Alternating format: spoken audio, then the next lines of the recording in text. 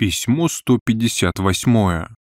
Есть ли у человека инстинкты, какова сущность агрессии и бывает ли она необходима? Для всех живых существ действуют одни и те же правила игры. Мы стремимся к тому, что кажется нам полезным, и избегаем вредного. В конечном счете, вся сложность нашего движения по реальности сводится к этой фундаментальной простоте.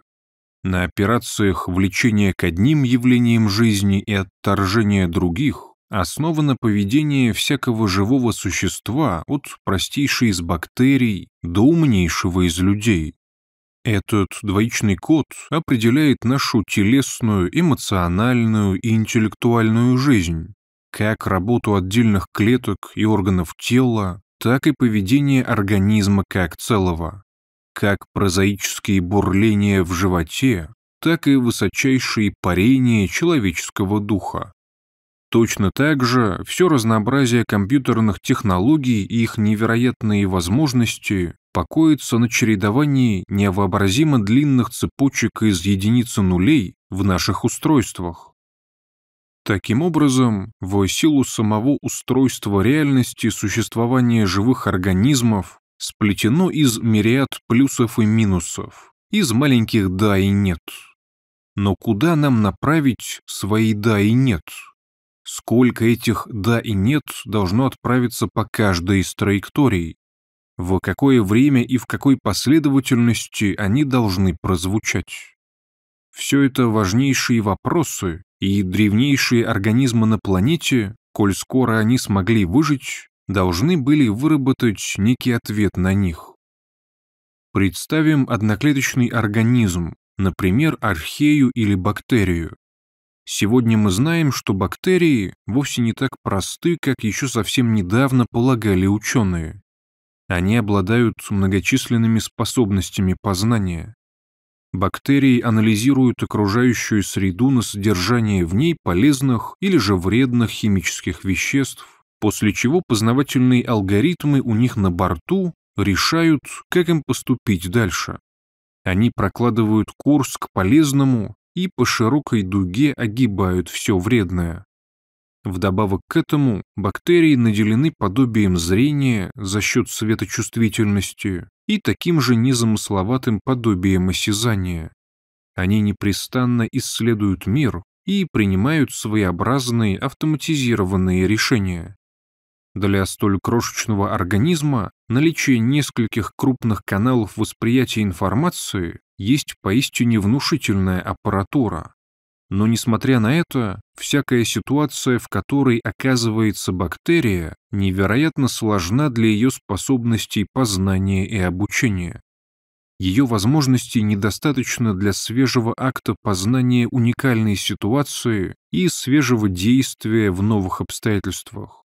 По этой причине бактерия применяет единственную стратегию, оставшуюся в ее распоряжении она практически целиком полагается на инерцию поведенческих алгоритмов, заложенных в ее генах. Такие алгоритмы поведения мы можем назвать инстинктами в широком смысле этого слова. Хотя понятие инстинкта не принято применять к одноклеточным, в сущности управляющие их поведением программы устроены так же, как и более сложные программы других животных.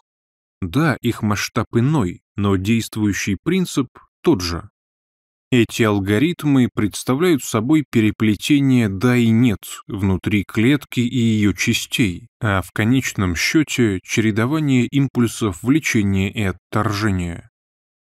Организмы с развитой нервной системой, например, высшие приматы, наделены куда более выдающимися познавательными способностями, нежели одноклеточные но и этого оказывается недостаточно, чтобы поспевать за динамикой жизни и вместить в себя хотя бы самые общие штрихи происходящего.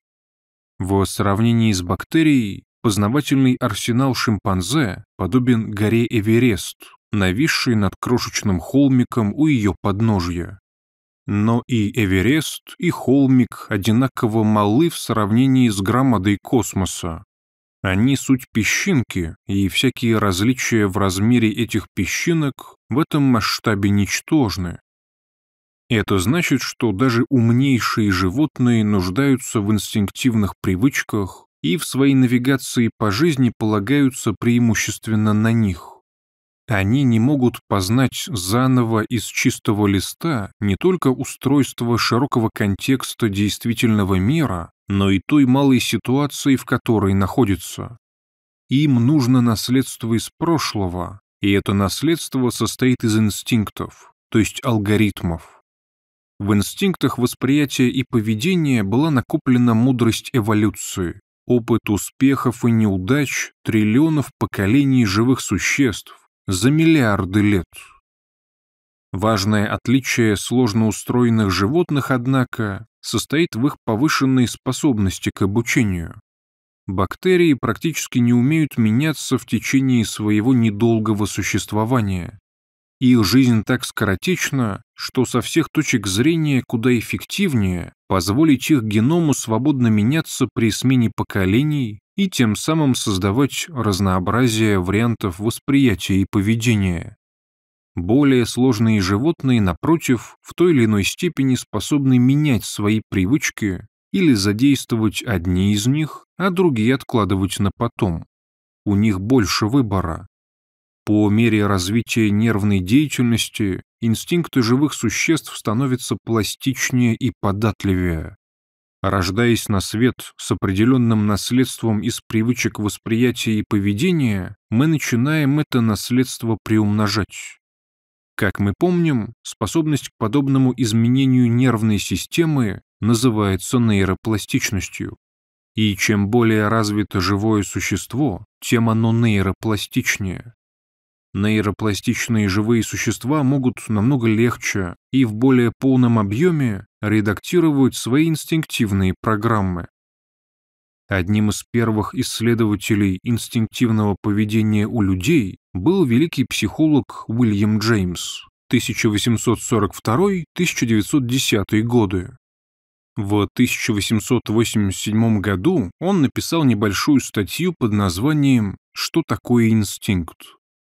В ней Уильям Джеймс определил инстинкт как способность совершать действия, направленные на достижение некой цели, без предварительного сознания этой цели и без предварительного обучения совершению этого действия.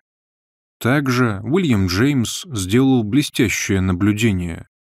Человек, рассудил он, отличается от других живых организмов вовсе не тем, что у нас нет инстинктов, а у них они есть. Наше отличие состоит как раз в том, что у людей намного больше инстинктов, чем у прочих животных. Наше наследство богаче. Сейчас, благодаря нейробиологии, мы можем не только подтвердить выводы Джеймса, но и существенно их дополнить. Как и любой мозг, мозг человека набит инстинктами под завязку. Можно сказать, что всякий мозг и состоит из инстинктов то есть программ, которые ориентированы на некую цель, но не сознают эту цель и не обучались специально под нее. Эти инстинкты управляют каждой клеткой тела точно так же, как и нашей умственной деятельностью. По этой причине мы так похожи друг на друга и телесно, и психически. Мы обладаем схожим наследством из внешних и внутренних качеств, потребностей, проблем и стратегии их решения. Развивающийся эмбрион не нужно учить выращивать сердце и печень, мозг и конечности. Он делает это без сознания цели и без предварительного обучения, повинуясь алгоритму. Новорожденного младенца не нужно учить голоду, страху, жажде, плачу, маханию ножками и ручками, зрению и слуху, а также миллиону иных операций. Он выполняет все эти сложнейшие задачи, не сознавая ни их цели и не имея никакого обучения в их выполнении. Нервная система состоит из инстинктов, так как каждая нейросеть представляет собой алгоритм с разной мерой пластичности. И чем сложнее нервная система, тем больше в ней действует алгоритмов, и тем больше они ветвятся. В человеческом уме не просто невероятно много инстинктов. У нас даже имеются специальные инстинкты для изменения своих же инстинктов. Благодаря разнообразию и количеству унаследованных программ мы отличаемся такими выдающимися способностями познания и творчества. Программы поведения в человеческом мозге конкурируют между собой и вступают в отношения сотрудничества и соперничества. Они видоизменяются, и из них путем обучения рождаются все новые и новые привычки. Одним словом, человек не приходит в мир чистым листом бумаги. Мы получили огромное наследство от прошлых поколений эволюции биологических видов и от прошлых поколений эволюции нашей культуры. Без этого наследства мы были бы бессильны, более того, невозможны. Нам не на что было бы опереться. Мы не могли бы ничего понять. Мы не могли бы ничего сделать. К счастью, люди не только получили щедрое наследство природных алгоритмов, но и научились приумножать этот капитал. Мы инвестируем его, экспериментируем и редактируем. Нередко людям претит употребление слова «инстинкт» по отношению к ним самим, а причислять человека к животным или обезьянам так вообще считается оскорблением. Родство со звездами, камнями, бактериями, растениями, рыбами и обезьянами кажется нам вовсе не прекрасным и воодушевляющим, а ранит наше самолюбие. Так эго хочет обнести себя крепостной стеной и возвыситься надо всем, или, по крайней мере, получить вип-пропуск в светлое будущее, оставив прочий мир позади как нечто второсортное. Подобно детям, мы любим тешить себя фантазиями о своей свободе, поскольку не видим собственного места в ветвлении причин и следствий. Мы, будучи наследниками, отрицаем полученное нами богатство и отрицаем свою родословную. Нам кажется, что все это мы сделали сами, что мы возникли как будто на пустом месте, что мы одни свободные, а все прочие живые существа пребывают в рабстве и полусне. Человечество развело у себя дурную привычку строить понятие о своем достоинстве и величии на легенде об обособленности человеческого эго, которое само все решает и никто ему не указ. Эта легенда действительно способна подарить немного наслаждения. Ее роковым недостатком, однако, является то, что это ложь, которая не выдерживает даже самой поверхностной критики. С другой стороны, мы можем построить свое понятие о величии и достоинстве человека не на лжи, а на правде. Это более надежный фундамент. Тогда мы обнаружим, что куда больше величия, достоинства и радости можно найти в родстве с бесконечно малым и бесконечно большим, чем в невежественном обособлении себя от мира. Мы начинаем ясно видеть свою родословную и полученное нами наследство, а потому лучше можем ими распорядиться. Мы относимся к нему с благодарностью, а не с высокомерием и пренебрежением. Такое знание есть сила, ибо оно помогает проложить путь. Употребление слова «инстинкт» для описания человеческих программ поведения имеет глубокие корни в истории и философии. Им широко пользовались и Ницше, и Фрейд, и психология после них. На Востоке то же самое, что мы понимаем под инстинктом, было обнаружено в человеческом уме намного раньше. Будда, к примеру, обозначал глубинные инстинкты ума термином «карма», и подчеркивал ее принудительность и наследуемость. Согласно Будде, всякая карма в нашем уме образуется лишь из трех источников – из автоматических реакций, влечения, отторжения и невежества в уме. Эти автоматические реакции называются сангхары, палийская сангхара. Когда автоматические реакции цепляются за объекты, переставая меняться, они быстро входят в противоречие с непостоянством мира. Мы жаждем того, чего более не нужно жаждать, мы отторгаем то, что не нужно отторгать. Это накопление неадекватных реальности привычек цепляния создает огромное напряжение и порождает страдания и разрушение. Оно слепит нас, приковывая к определенным частям реальности и причиняет мучения. Освобождение от кармы, то есть от накопленных нами застойных и невежественных реакций, есть духовная практика буддизма. Будда использовал для понятия инстинкт и более узкий термин, нежели карма. Это было слово «анушайя», что буквально переводится как «залегающая внизу». Будда обозначал так глубинные привычки ума, образующие цепляние, и также подчеркивал их наследственный характер. Как и инстинктам, глубинным привычкам ума не нужно целенаправленно обучаться. Они суть глупая инерция, которая тянет нас вперед без всякого сознания цели.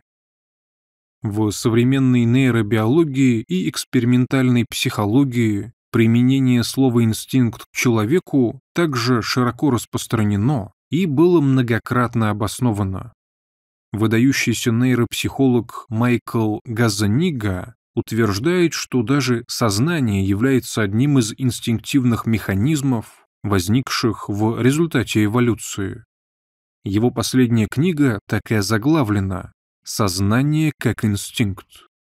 Не менее прославленный когнитивный психолог и лингвист Стивен Пинкер назвал свою известную работу «Язык как инстинкт». Словом «инстинкт» не брезгуют и нобелевские лауреаты Эрик Кандел и Даниэль Канеман, считающиеся мировыми экспертами по человеческому поведению.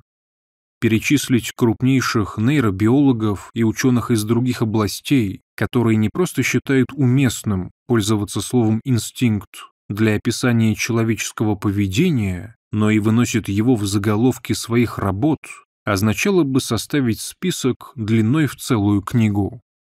Тем не менее, если кому-то становится нехорошо от сближения человека с другими живыми существами, то можно заменить неприятное слово на букву «и» на какой-нибудь эвфемизм. Суть не поменяется от того, что мы будем использовать какое-то иное сочетание букв и звуков. Правда в том, что каждое существо, не исключая и нас с вами, приходит в мир с целой пачкой листов, исписанных мелким шрифтом наследственных алгоритмов. Затем мы прибавляем к этим листам толстую пачку своих собственных творений. В полученном нами наследии есть как более полезные главы, так и менее полезные, потому что их содержание стремительно утрачивает свою актуальность. Некоторые из наших видовых привычек глубоко проржавели за минувшие тысячелетия, и в значительной степени потеряли прямой контакт с обстоятельствами жизни. И самой опасной частью нашего наследия являются инстинкты агрессии. Происхождение и природа агрессии Когда нечто новое возникает, его старая форма должна погибнуть, а потому разрушение есть необходимый момент созидательного процесса. Разрушение и созидание представляют собой два ракурса восприятия одного и того же явления – перемены. Меняясь, мы разрушаем. Меняя, мы тоже разрушаем. Нам постоянно нужно преодолевать препятствия и помехи и устранять источники опасности. Без разрушения движение жизни не может состояться, а потому жизнетворчество неотделимо от него. Как следствие необходимости в разрушении, эволюция выработала у всех существ с развитой нервной деятельностью особый набор инстинктов разрушения – агрессию. Важно понимать, однако, что агрессия не тождественна разрушению. Это всего лишь древнейший способ реализации сил разрушения на основе жестких и примитивных инстинктивных программ. Когда мы сталкиваемся с опасностью или препятствием на пути удовлетворения наших потребностей, эти программы из глубин эволюционной истории запускаются. Тогда в нашем уме и теле в движение приходят тысячи автоматизированных процессов. В нашем мозге возбуждается миндалина и задняя часть гипоталамуса, отвечающий за агрессивное поведение, а также наблюдается всплеск нейромедиатора норадреналина. Надпочечники вырабатывают ударную дозу адреналина и кортизола. Они мгновенно выделяются в кровь и разносятся по всему организму. Наше сердцебиение учащается, давление поднимается, мышцы напрягаются, а потоотделение увеличивается. В ход приходит искажение восприятия, заставляющее нас более враждебно относиться ко всему, с чем мы сталкиваемся. Разум теряет контроль над поведением, а потому наши действия становятся поспешными, импульсивными, необдуманными. Ум наводняют эмоции гнева, ярости, злобы, возмущения и пропитывает страдания, ибо агрессия мучительна. Страдание есть один из рычажков-мотиваторов, приводящих агрессивное поведение в движение. Страдание крайне убедительным образом побуждает нас уничтожить источник страдания. Двоичный код жизни состоит из операций влечения и отторжения. В агрессивном поведении эти два импульса причудливым образом чередуются и переплетаются. Для разрушения нам нужно сперва приблизиться к тому, что мы хотим разрушить, а затем отторгнуть это. Поэтому, охваченные инстинктами агрессии, мы устремляемся к объекту и чувствуем повышенную готовность причинить ему вред. Нанесение вреда и разрушение кажутся нам предпочтительной стратегией. Мы становимся склонны вести себя именно так. Таким образом, агрессия – это не всякая воля к разрушению. Агрессия есть воля к разрушению, управляемая примитивными автоматическими программами. В случае человеческого мозга это инстинкты лимбической системы. Акты агрессии и агрессивные люди так похожи между собой, поскольку приводятся в исполнение одними и теми же древними механизмами. И у людей, и у шимпанзе, и у крыс они состоят из примерно одного и того же комплекса эмоций, порывов, шаблонов поведения и искажений восприятия, а также их внешних проявлений. Поэтому агрессивное поведение человека столь похоже на агрессивное поведение зверя и по внешним проявлениям, и по их итогам, и по гормональному профилю, и по активации зон мозга. Механизмы агрессии и ненависти есть проявление силы желания, главного топлива лимбической системы. И желание в нашем уме носит принудительный характер. Оно подчиняет поведение и своей грубой силой тащит нас к тому, что мы хотим заполучить или разрушить, или прочь от того, что нас пугает. Помимо желания, однако, в человеке присутствует способность чистого стремления и чистой деятельности. Ее основу составляет та же самая творческая энергия, что лежит в основе любой жизни, но в случае чистого стремления эта энергия находится в более свободном состоянии. Чистое стремление пластично, поскольку не сковано косностью инстинктов. В отличие от желания, оно ведомо панорамным и ясным видением разума. Благодаря этому оно находится в прямом контакте с уникальными сигналами ситуации, а не катится по древней инерции. Чистое стремление расширяет наши умственные способности и очищает наше восприятие. Желание, напротив, сужает и искажает его. За счет нейробиологических механизмов желание подавляет функции разума и по мере разрастания притупляет наш интеллект. Мы можем заметить в себе чистое стремление, когда в своей деятельности мы осознаны, энергичны и свободны от жажды и агрессии. Это происходит в процессе размеренного труда и творческого порыва, В моменты, наполненные чистым стремлением, в нас нет ощущения бедности, которое свойственно желанию. Мы крайне активны, но при этом нам ничего не нужно. Мы не чувствуем никакой неполноценности себя и момента, никакой мучительной нехватки. Наша деятельность является выражением богатства и избытка наших сил, а не нужды. Деятельность чистого стремления является свободной, в ней отсутствует принудительность, которая всегда сопровождает порывы желания. Охваченные желанием, мы зачастую не можем сопротивляться разрушительным побуждениям. Нас влечет в пропасть, но мы не в силах остановиться. С чистым стремлением такого не бывает. Оно податливо и пластично. Это свобода в той мере, в какой она вообще может быть пережита, и чем больше оно нас наполняет, тем свободнее мы оказываемся. Как желание, так и чистое стремление способны и созидать, и разрушать, но делают они это совсем по-разному. Желание есть один из древнейших способов существования творческой энергии жизни. Чистое стремление, с эволюционной точки зрения, представляет собой новый способ бытия той же самой творческой энергии.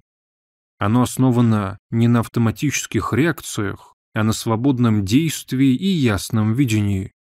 В случае человеческого поведения желание и чистое стремление есть соперничающие и сосуществующие способы бытия, управляемые разными зонами мозга, лимбической системой и кортикальной системой соответственно. Лучше понять их различия можно на примере. Допустим, в процессе перепланировки своего дома мы с яростным рыком срываем со стен обои и крушим стены. Нам осточертело наше старое жилище. Мы не хотим больше его видеть. Нами движет желание, проявляющееся как смесь агрессии и жажды. В случае агрессии разрушение постоянно отделяется от созидания и теряет связь с широким контекстом созидательного процесса, поскольку агрессия слепа. Это и есть ее главный недостаток. Средство утрачивает контакт со своей целью. Причинение вреда становится невежественным, избыточным и излишним. Разрушение выходит из-под контроля, катится по глупой инерции лимбической системы, и средство становится целью само по себе. Мы с таким увлечением крушим свой дом, что вскоре можем и вовсе позабыть о строительстве. Мы ломаем то, что следовало бы оставить. Мы тратим невероятные объемы нервной энергии и приучаем себя к состояниям омраченного ума. Мы вредим себе и миру вокруг. А если нам кто-нибудь попадется под руку, то в своем кровавом раже мы набросимся и на него. Но зачем? Это мы уже подзабыли. Лимбическая система не задает таких вопросов и тем более не в состоянии на них ответить. Как правило, агрессия обладает взрывным нравом, но нельзя забывать, что человеку присуща большая пластичность высших форм нервной деятельности. И это касается даже нашей лимбической системы. В силу такой вариабельности мы периодически встречаем статистические аномалии агрессивного поведения, например, холодную агрессию. Холодная агрессия лишена сильных эмоциональных переживаний и типичных физических проявлений. Она не сопровождается всплеском адреналина, повышенным пульсом и давлением, как и прочими характерными признаками. Довольно часто это происходит у психопатов, вследствие аномалий их психического развития. Определяющей чертой агрессии, однако, является вовсе не бурление эмоций, а невежественный источник нашей воли к разрушению. Холодная агрессия все равно остается агрессией, так как лишена покровительства разума и исходит из слепой инерции наших древних инстинктов. Разрушение в ней отделено от созидания и обращено как против самого носителя агрессии, так и против мира. Холодной агрессией руководят те же самые инстинкты, но их реализация по разным причинам не сопровождается привычной эмоциональной иллюминацией. Если вернуться к нашему примеру, мы можем срывать обои и рушить стены своего жилища без агрессии. Тогда в нас не будет ни вспышек злобы, ни настроя ледяной ненависти, ни садистских фантазий или же томления по своему будущему дому. Мы просто делаем то, что необходимо сделать.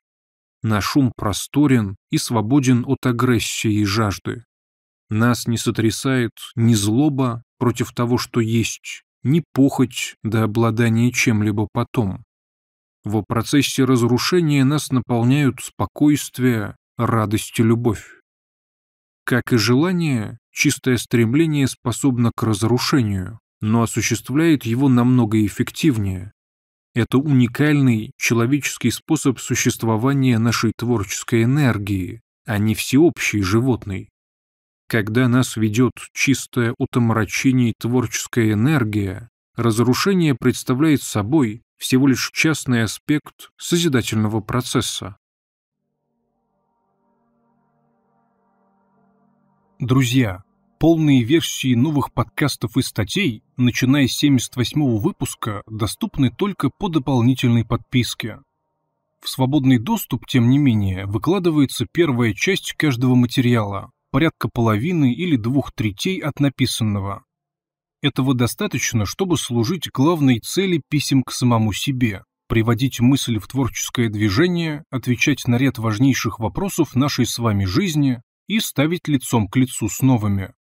Если же вы не только находите мою работу полезной и интересной, но и хотите взять от нее максимум и помочь дальнейшему развитию, сделать это можно путем ежемесячной подписки ВКонтакте на Patreon или Boosty. Стоимость обычного варианта 250 рублей в месяц или 3 доллара на Patreon. Это открывает вам полный доступ к материалам и возможность скачивания подкастов на соответствующих площадках.